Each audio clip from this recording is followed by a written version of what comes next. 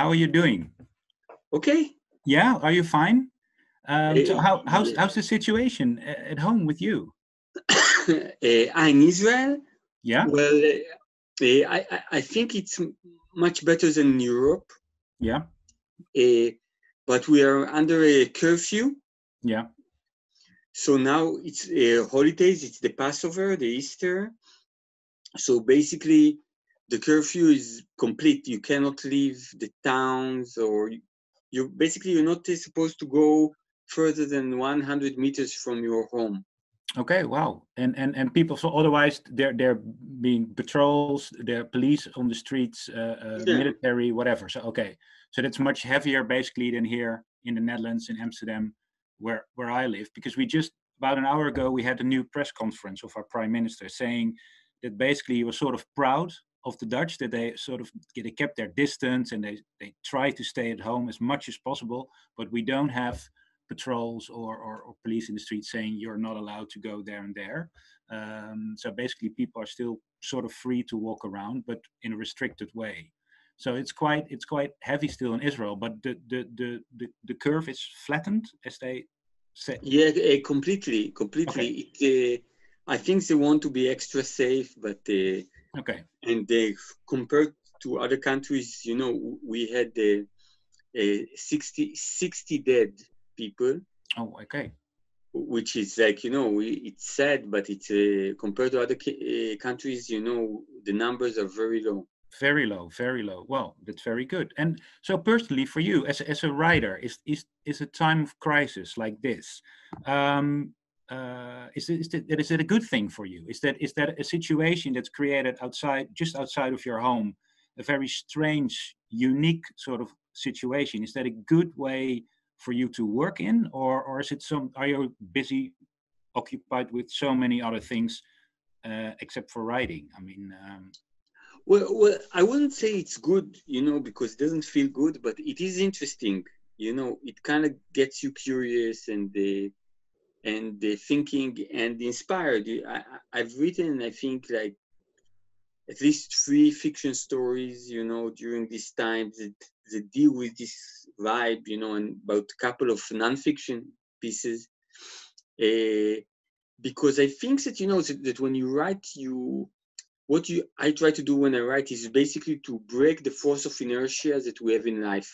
Yeah. Because most of the time in life we're kind of passive, you know. We go to work or we go to school, you know. We pick the our children from the kindergarten, you know. We go and visit our parents on a weekend, you know. It's like everything is on a routine. Yeah. And uh, I think that art uh, has the power of kind of breaking this force of inertia and kind of touching something that is genuine. And I, I feel that there is something with the corona virus that it stops the force of inertia in life. And I think that it makes people ask themselves questions they wouldn't have asked otherwise. You know, I mean, this is What kind of question do you ask yourself, Etgar, for instance, uh, since the virus broke out? well, you know, it, it, it, the, the, uh, because of this uh, coronavirus thing, I had uh, four four trips cancelled. Holland was one of them, Yeah. but I was also supposed to go to Turkey and to Germany and to France. And they and basically, instead of having a month in which I would fly from one country to another, I have a month where I stay put. You know, mostly in, in my room or my balcony. You know, I talk to, a lot to to my son, to my wife. You know, and the and the vibe is totally different. And like looking at it, it's not good or bad. You know, because I like traveling and I like public events and Yeah. and I you know I like interacting with people. But now I'm doing something different. You know, and and uh, it's not necessarily worse. You know, so so this idea is that suddenly there's something that changes your course course of life. You know, it's a, I think it's a it's a it, it's my, mind opening. I mean, you know, I think for majority of people right now, you know, they're dealing with a with a difficult illness or with a terrible economical situation or or with the fact that they have to stay in quarantine in a very small space with big family, you know. So so uh, in that sense, you know, I, I think that the virus actually uh, it puts into extreme the economical differences in our world, you know. Yeah. But the but having said that, you know, apart from all this pain and anxiety, there is some kind of an authentic uh, existential existentialist aspect. You know, my uh, son Eh, in these four weeks he started drawing, you know, and began running around our house. You know, so he's like eh, 14 years old, he never wanted to draw, he never wanted to run, but suddenly he's doing both, you know. So yeah, he discovered this yeah. about himself. Yeah. Yeah. So so I so I think that you know I think that the that, that this vibe of kind of uh, confusion, you know, it's like I often say uh, see life as some kind of an obsessive compulsive behavior, you know, and sometimes when you're obsessive compulsively doing stuff, if somebody gives you a slap or shouts at you, you have to. It's not pleasant. No. But it makes you kind of look around you yeah. instead of going through motion, the motions. Yeah. Is it also true, Etgar, that a lot of people say about your work, also your about your latest stories? When I read the reviews, this is, by the way, this is the book, people. Mijn konijn van vaderskant in Dutch, and in English it's it's Fly Already. They keep saying that your universe is absurd you read it about certain authors, you read it about painters, they, they created this absurd universe in which they work. But isn't that, to me, it seems that basically to you, this is not an absurd universe. This is, this is just your universe, you know? So it's, so, no. No, no, it's, I'm saying it's not your, it's not my universe. It's the, it's basically some take on trying to show the reader how I perceive life. Yeah. You know this is how it feels like to be me. So and when can you remember not not when you started writing when you wrote your first stories but can you remember when you started looking at life like this? Can you remember a certain point as a child or maybe a little bit older a situation Did you then you that, that you looked at life and then you you you thought well maybe I can, I can perceive it a different way. I can do things with what i see with what i perceive. I can take directions. I can take turns because that is what you're exactly what you're doing in each and every story. You you start at a just a given point and then you take directions and sometimes in seems in every which way you like. Can you remember the first time that you experienced that? Well i think i think you know i'm child of holocaust survivors. Yeah and my parents, my, both dead, but my parents suffered a lot during the war. My mother had lost both her parents. Her mother was killed in front of her eyes. Her brother was killed in front of her eyes as a child. And it's something that I knew from a very young age. And I think that there is this kind of phenomena among uh, second generation children that they, they feel a lot of compassion towards their parents. And so they don't want their parents to feel bad. Mm-hmm. So, so basically, there is something in the dialogue that they have with the parents. It's almost kind of like a sales agent recommending life, you know, yeah, saying, you know, it's really it's not that dangerous, you know, or wow, look, this is really nice. And basically, you know, my parents never needed it because they were much more optimistic and positive than I am. But still, it's something that you know I always I've always felt. And my mother, she had a fabric store yeah. where were basically mostly elderly ladies or I don't know women women of all ages I guess would come and buy fabric to make dresses you know. Mm-hmm. and they when, and it was in the basement there was no windows. And my mother many times she didn't ha- have anybody to leave me with so she would take me to the store. And there, and she would put me on the table. And you know I think I wasn't maybe I was three years old, you know, maybe not even that. And I would sit there, and uh, basically, when uh, clients would come, I would speak to them. They were mo- mostly women, and and they had all kinds of dynamics. Like they would come with their husband or with a sister or with somebody. Usually, they wouldn't because we we were a little bit far from the center, so they always drove there. So they, they would always come in pairs or groups and with me, I think I had this kind of urge. I, I kind of, I, whenever somebody came, I would see their weakness, like their fear or, you know, or their uncertainty. And I would make an effort to kind of, I don't know, see them or be compassionate to them or help them. And they, my mother this is, is my experience, but my mother remembers it how I was this kind of wunderkind that yeah. I was so little, but I was this attraction because I would say, oh, you know, Mrs. Cohen, this brings out the green of your eyes, or you know, or you, or you know, you, uh, oh, you sure you're 68? I was sure that you're 35. Ha, ho, ho. And you know, and I would, and all my attempts were very, very pathetic, but and over the top. But I was this kind of little talking monkey that women would, elderly women would come to see because I was really cute, you know.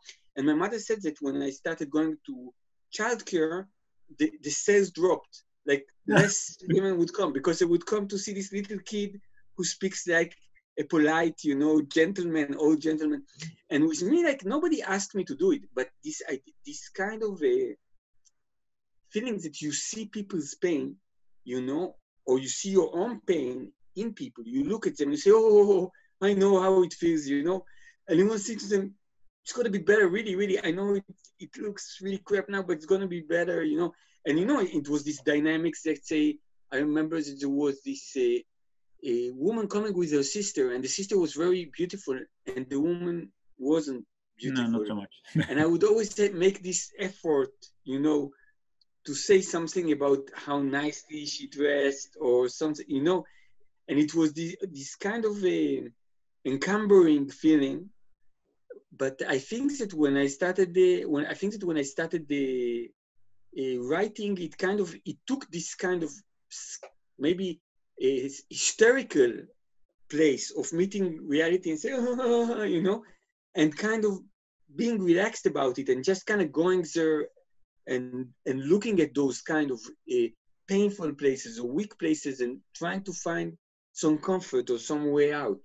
So you so so to make a story out of a situation like that, or to or to feel out someone's pain or maybe even your own pain is making you able to control it or something like that. To just make it into a a short story and then then it's dealt with is that is that correct is that what you did from yeah, a child and you're still doing today or yeah i'm spoiler uh, alert i'm going to ruin the sixth sense to people who didn't see it but i, I feel a little bit that, that, writing is a little bit like the, the child in the sixth sense that you know yeah. that basically that basically in the movie yeah. he sees dead people and it's very very scary and in the end he discovers that those dead people they, they they're no danger for him they're just lonely and and they want to communicate with him and they want his help you know and i think that for me there was something that uh, that writing made me stop being scared of my feelings and my emotions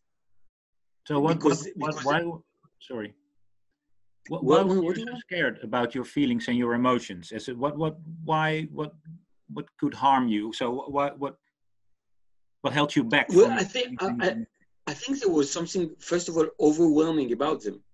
You know, yeah. this ability. As I remember as a child, I don't know, a, a, a crying with no control.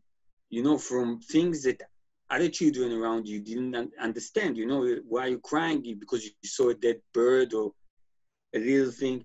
But, but also this kind of feelings that there is something overwhelming about life, that it's too much. And the idea is that when you write it, yeah. when you say, you know, it's not too much, it's just a lot.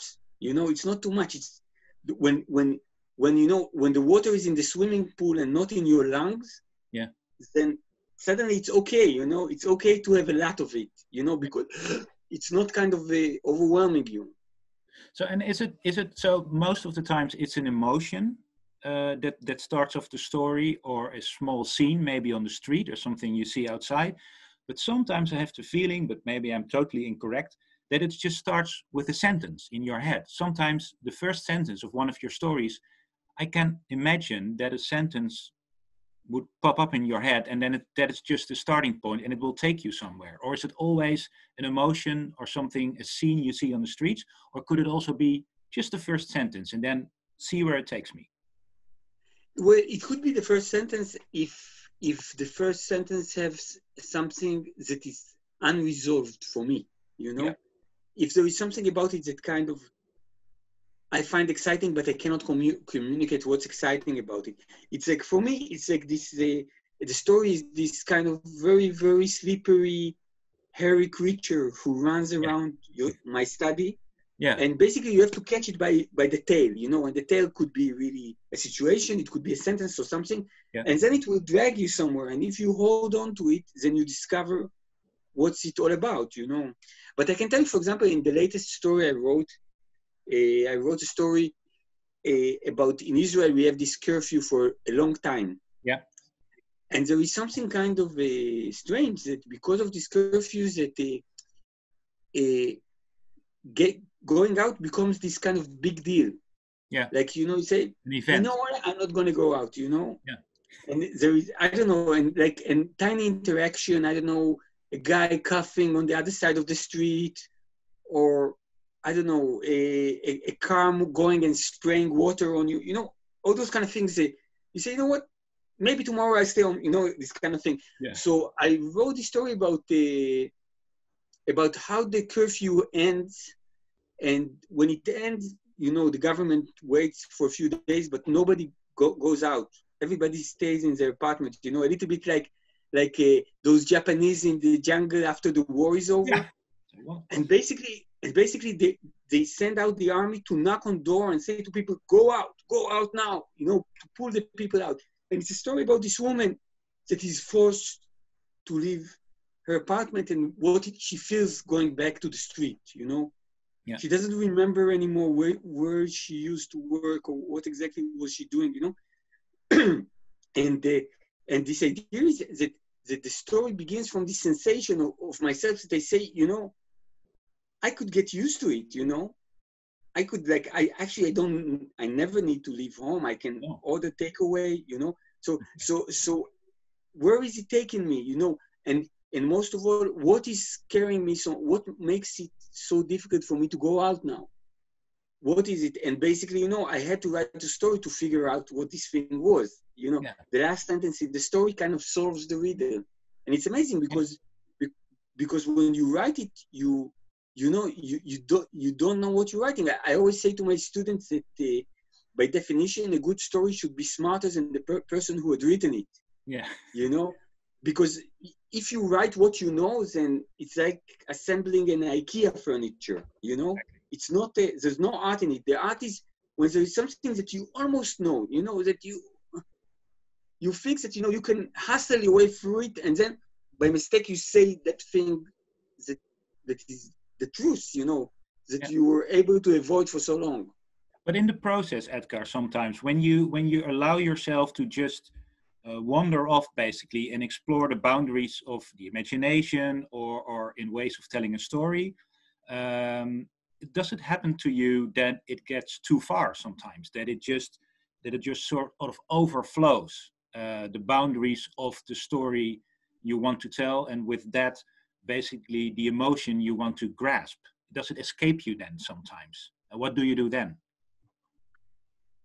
Well, you know, I think most of the time when I write, I fail. You know, Yeah. it's really, it's like, a, it's kind of, I don't know, it's kind of like those people who, who, who say to you, hey, look at me juggle, you know, and all the apples fall on the floor. So I'm saying, even those guys, sometimes they're able to do it a few times, kind of, before, before it crashes. And, and for me, this is the default. Like when I come to write, I say, okay, I'm going to fail now, but you know, gonna be fun. You know, I'm gonna play with words. It's okay. And once in a few times, you know, or like once out of every six, eight, ten times, then you do it and say, hey, well, you know, there's something in it, you know, and and the, And what and when that? it happens, you when when do you how do you know or you just know well, with me, I think you know, writing a story. Like many times, you begin writing, and it doesn't come to anything. You know, the story doesn't have a direction, or it stops in the middle. But I think for me, uh, knowing that you got the story is knowing that you got the tone, how it sounds like, what is the rhythmus, what kind of sentences you have.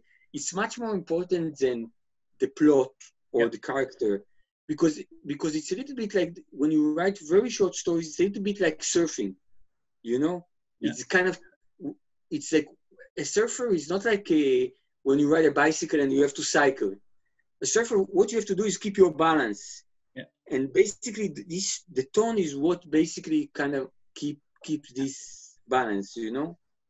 and it's like you know another story I wrote right in this period. I think the first sentence is uh, uh, uh, the world is about to end and I'm eating olives. Yeah. You know, so you know, and then it becomes a story about how did how did this guy buy the olives? Yeah. The way like if it if the world would be about to end and you go to a supermarket to buy olives, like what would it be like? You know, and, and the story takes you somewhere.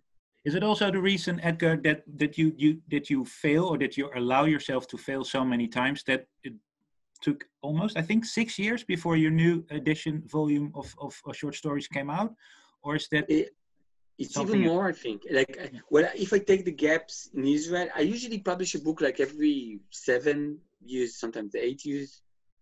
Yeah. But I do other things too. Okay yeah, you write graphic novels, you do films, you do it, it, uh, you perform so many times, and you have to travel uh, uh, a lot. Um, yeah, I'm saying writing wise, like I, I also I like I write work sometimes on screenplays, on plays. I direct. I, I, I write children books. You know, I, I. But I think that there is something about writing that it's always what what's helpful for me is this idea is that there is zero stress about it. Like you know, it's the good thing, you know, if you write no best-selling novel, it's another thing. But if you write short stories, you know, your publisher will never nag you. You know, say, hey, you know, it's been six years, give me a book. They won't mind. They say, oh, Etgar isn't calling. You know.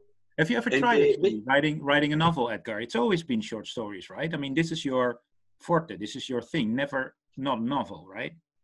Yes, it's funny because again, you know, it all starts from the place of writing short stories in my life. Yeah. That it's a place of a total freedom, total irresponsibility. You know, I don't have a writing routine, or I just write when I feel like it. Uh, you know, sometimes I write stories and and you know, because I'm so kind of, I lose the stories. I save them. I don't remember what the file's name. I put it somewhere. You know, it's like sometimes when when I'm asked by them from a magazine for a story, I start looking like I write B A and look for what's on the screen. Oh, maybe this. Ah, yeah, you know, it's a, it's really, it's like a total mess. And and the idea is that that it's this kind of a obscure hobby of mine. Yeah. While I'm a professor in the university and I give lectures and I do this. So so in this place of freedom, if I start writing a novel, I, I take responsibility.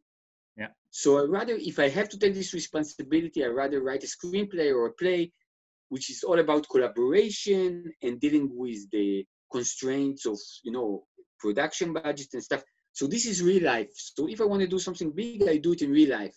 But hmm. here i just come to play around and feel free you just mentioned that you you you teach you teach creative writing as well uh, a few places in the world actually what is it that students want most of you, Etgar, of your writing? What do they want to learn from you? So not necessarily what you want to learn them, but what do they ask you specifically about your stories? What do what do, do they want to grasp from you that they can apply to their own work, maybe?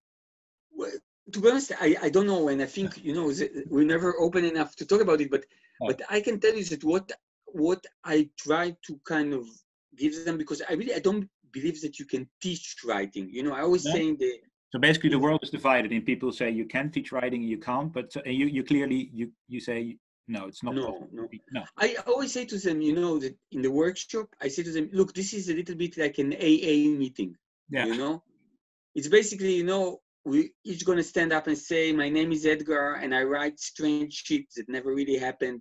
No. And you say, we love you, Etgar. It's okay. We do this too, you know you're a good guy. And and I think that what happened in, in a good workshop is that basically the, the, the students and the and the instructor they create some kind of an acoustics that help the, the student hear himself and, or herself and know what he or she wants to do. Yeah, okay. you know, it, it's basically it's basically not saying you do this, but because because I often, you know, my metaphor for those workshops is a little bit like as if an alien, you know, you would learn, uh, would uh, land with his flying saucer in Amsterdam yeah. and hold this sign and say, I give, uh, I give uh, tours to Amsterdam.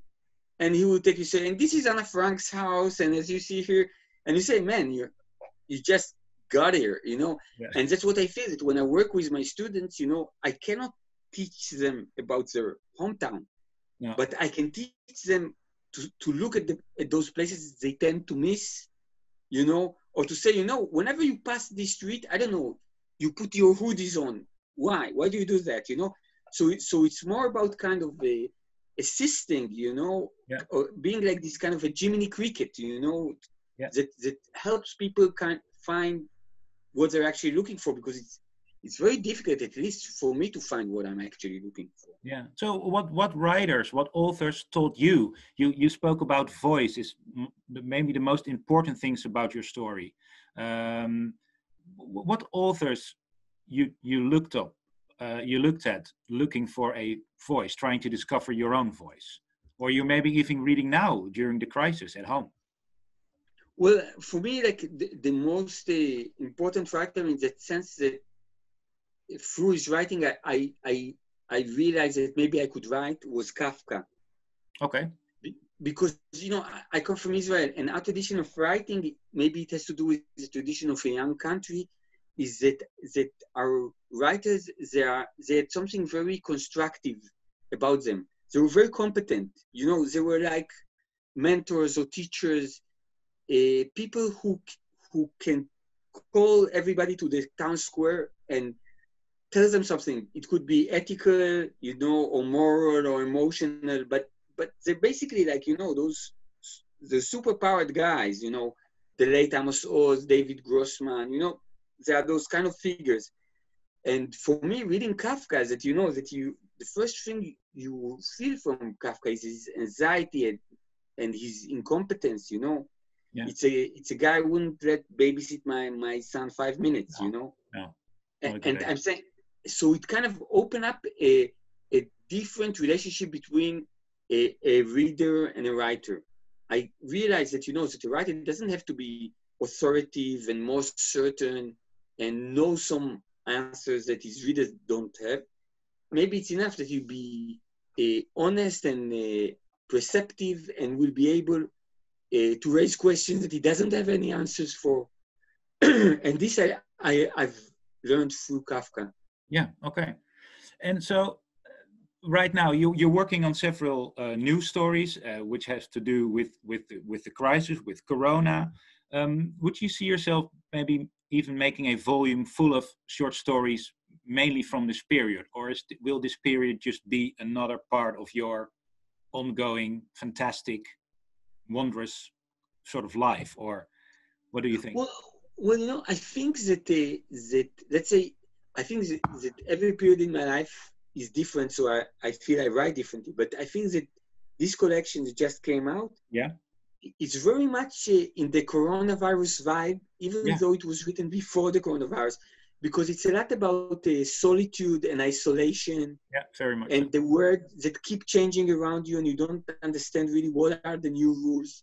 You know, it's about people who who are used to be passive and then suddenly find themselves in a situation where they're obliged to be active and it kind of teaches them something about themselves. So so I think that you know that when I wrote this book, it's not that I knew that the virus is going to come, but but what I did know that I was in when I wrote it, I was in my late forties, in a word that kind of kept changing and stopped making sense in many ways. You know, yeah. as a parent, anytime I know you teach your child something. So I would I when when uh, uh, President uh, Trump said, you know, grabs them by the pussy. Yeah. And my son at the time listened to it. He said to me, "What what's going on? Why do they keep showing it on TV?" And I said, "Oh, you know, this guy he wanted to be the president of the U.S., but they just released something very offensive that he said to half of the population of this earth. So now he's not going to be a president, you know." Hmm. And you know, a couple of months later, my son said, "You know, you know that the guy said that he's not going to be president. He's actually the president." And this is kind of feelings that you know you say, "Well, I don't know. I remember that when politicians say something really offensive, you know, yeah. about all the women in the world. I I used to I remember vaguely that they have to pay for that, right? You know, yeah. but but but uh, but so it doesn't matter if it's political or technological technological that I'm very bad with each and every app. And and also I see my son the way that he uses those apps is that you know with me like when I learn something it's for life you know yeah. it's basically you know how to drive a car you know how to work the ATM you know I've learned it 30 years ago and I still do it but with my son he learns it kind of knowing that in 10 months or one year he's not going to use it anymore no. you know his interaction with it is basically he has no attachment to those apps he really no. doesn't care you know they keep calling me from the cell company that I have a very old phone, and they keep urging I me. I know, I know. They keep urging me to change it. I say, no, no, no. But when I speak, they hear me on the other side. It actually works. You know. yeah, I understand. Um, um, Etgar, it's time. Maybe we, we should go to a few questions I have here, and, and I'm supposed to read them. I think so. I'm I'm quite curious. Um, Can you do voices like? You oh, know, you wanted me to do voices. Well, what kind of voice would you like? Would you like? No, no, just for the question. Something that oh, would be appropriate. I know. you know, a guy with with a beard and a pipe. You okay. know. Well, the first one, Etgar, the beard and the pipe. Could you explain, Etgar, the relation between the email at the end of the title story and the story itself? And it's asked Peter van Scherpenberg. Uh, I, well, yeah. Well, it, it, it would be a little bit of a spoiler, but I try to be kind of vague. But but I, I think that the that the story, the email story, is basically a story about a about a guy who emails an escape room. I, do you have escape rooms now? You have this? Definitely. So he wants to. He he has a, an elderly, crippled mother that he wants to bring to the escape room at a date, and the the the guy from the escape room ex- explains to him that it's the Holocaust Memorial Day, so so they're going to close the escape room. Yeah. And this guy starts arguing with him because he says, you know, my mother, she's a Holocaust survivor. And on Holocaust Memorial Day, it's the toughest day for her because she has to remember all the trauma. So I thought I'd take her to an escape room, but because you respect the Holocaust so much, you're going to make my wife, my mother's life miserable. And this starts to become this kind of an exchange. And for me, the exchange has to do something that I, with something that I see a lot in Israel. And this kind of idea this uh, feeling of righteousness coming from a feeling of victimhood.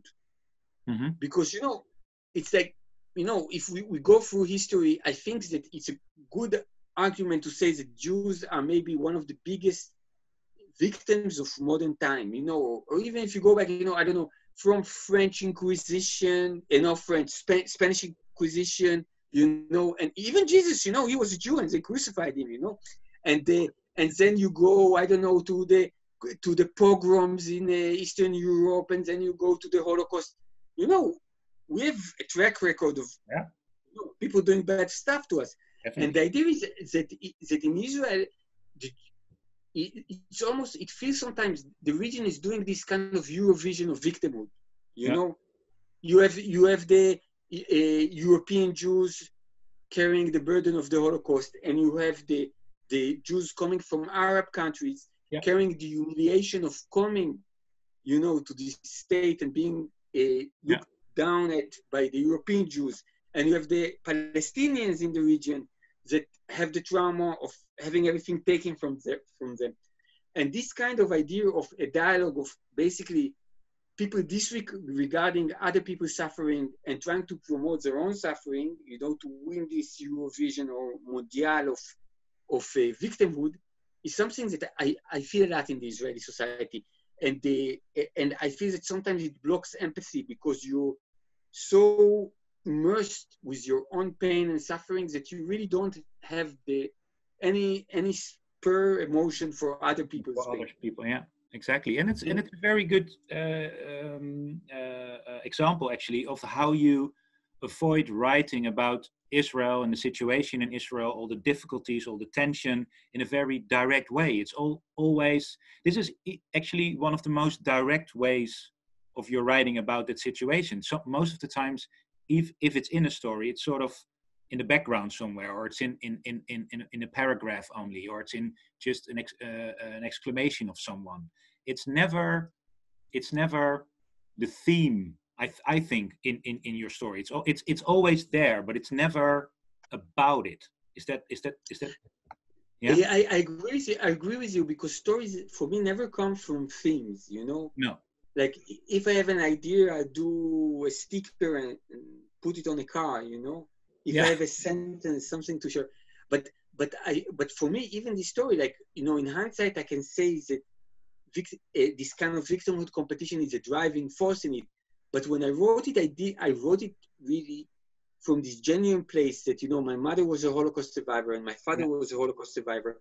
And in Israel, in a Holocaust Memorial Day, you can see in TV, in all the channels, in all the radio, they talk 24/7 about the Holocaust. Yeah. And you know, and you can't go out to a restaurant and you can't go to the theater. And for me, I would see my parents dreading this day, and I would see them suffering during this day. Yeah. And as a child, I thought that Holocaust Memorial Day was kind of some kind of way of I don't know torturing Holocaust survivors Mm. for I don't know for surviving. You know, it's Yeah. a way of getting even with them. And I kind of kept this distorted thought that that wa- was so strong in me as a child that I started writing from this kind of childlike perspective, a place that is very kind of a, a afraid and closed, you know. And the story came out of it, but it's not that I wanted to write a story about that. No, no, no. And it's never. It's just like what we talked about earlier. That you you don't start from a certain idea or a theme. No, you start from a scene or an emotion, or sometimes only even a sentence. Which okay, Yes. not different. Not a question, Etgar. A different voice. Um, Yeah. Uh, uh, okay, Eva is asking you, uh, Etgar. Laszlo Krasznahorkai recently said in a public interview in The Hague, "Every new book I write is proof of my failure. I am to write a book which says it all, and I never succeed. So I have to write another one. Try again." Do you recognize this feeling? Well, actually, you do because we we sort of discussed this, the the, the failure, right? About about all the time. Yeah, well, you know, I, I, for me, life is a failure. Uh, writing is a miracle. You know that the miracle is that out of this failure, you know, something of substance can come up. You know, I Yeah. think that it's funny. It, it, it's you, you know, we talked in the beginning about. You said this is a this is a terrible period, but maybe it's good for writing. Yeah. So, so I think the first the first uh, work of art that I was attracted to during this, this time, this coronavirus uh, time, was I went and looked for a Raymond Carver poem, and this poem is about this guy that uh, it, it- it's about Raymond Carver, and Raymond Carver uh, writes a poem about how his daughter's dog got run down by a car and died, Mm. and how he buried that dog, Yeah. and how he wrote a poem about burying that dog, and how the poem was so good that he thought that it was almost worth it that the dog died Yeah. because he got such a beautiful poem out of it. And and you know, and and I think that, that this is taking it from the negative side, but from the positive side, you could say how there's something that is about pain, about weakness, about failure, can become something like something that is comforting, Yeah. something that is uplifting. You know, that life is just kind of shirts and trousers with a lot of stains and Yeah. and places that you forgot to shave, and you know, it's like you know, in a good good case scenario, you get to work on time and fuck up. In a worst case scenario, you'll be late to work and fuck up. You know, it's not going to work, and you're going to die in the end. But if you're if you're able to connect with it in such a way that is devoid of this kind of force of inertia or competitive spirit or capitalist spirit, and just kind of say, "Wow, like you know, the the entities that created such a thing, there's something so complex and beautiful in it. It's like watching a sunset or a geyser, or wow, like that's something. Then, then for me, there is something about writing that is a that it's the opposite of failure. It's it's kind of it's kind of like you know it's as if like uh, a, you, you know it's it's like in the U.S. they have this uh, show like uh, a, a best uh, home videos or something Yeah, like you know where where people barbecue and then the kid is set on fire and they throw him to the swimming pool. So I think that writing is a little bit like this. You know, it's like I'm saying home videos. Yeah. no, be- because because funniest home video because I think you know that if your son shirt gets burned and and your wife says, "You stupid fuck! Why? What are you doing?" And then you roll him in the sand, and he's crying. You know, it's a terrible experience. But Yeah. but if he's on fire and you throw him in the swimming pool, and it's on a world's funniest home videos, and you know, and your aunt, you know, in Cincinnati sees it, and not only that, like all those people who had a bad day, they see your kid catch fire and they laugh, you know, and they laugh because this cathartic, it's this huge catharsis because it's not their son, Yeah. and also he fell into the swimming pool, so he's safe. So whew, life is a mess, but Yeah. we were able to escape it this time. So, so I think that writing is a little bit like that. Okay, excellent. America's funniest home videos in writing. Thank you. Uh, you uh, talking about dogs, there's a question about animals in your story. Ah, hi Etgar. There are quite a lot of animals appearing in your stories. What kind of role do they play in your stories and your life? Best wishes. Well, I, first of all, I love animals, you know, Yeah. eh, and the, eh, our family we have a rabbit in our in our home, and eh, and uh, the idea of having a rabbit, by the way, came eh, from a visit that I had to Amsterdam, uh, where I met a, a Rutger Lemm, who's one of the filmmakers who had made the documentary Etgar Keret based on Yeah, my yeah, yeah. story. Really nice documentary. and and and he had a rabbit. And the three of us kind of saw that rabbit. And then when we had an opportunity to get one we had one. But but in general i think i uh, i i like animals uh, first of all because i think the difference between animals and human beings helps me understand more w- what it means to be a human being you know it's like uh, but but also I think that you know this kind of idea is that the, this thing that is very exposed in animal and uh, not and uh, honest, you know, earnest.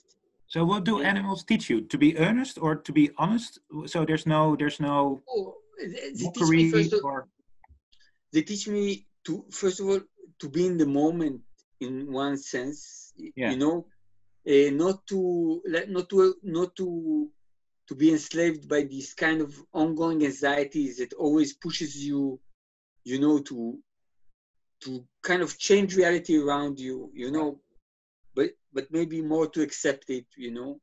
And there is, you know, I like the warmth, you know, and the the uh, something that is uh, that is. Uh, I, I don't know if simple is the right word, but you know, but kind of a works the way it should because I think that you know that uh, we, we not we you're okay, but I tend to overthink, and you know, and and and and I think that you know that uh, because animals don't overthink, they al- already give me something to learn from them.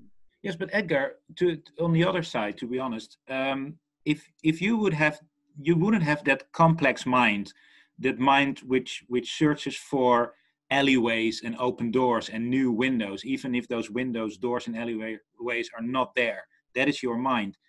Then you, you couldn't write. I mean, if you would be, you have the mindset of a dog or of an animal, just being in the moment all the time.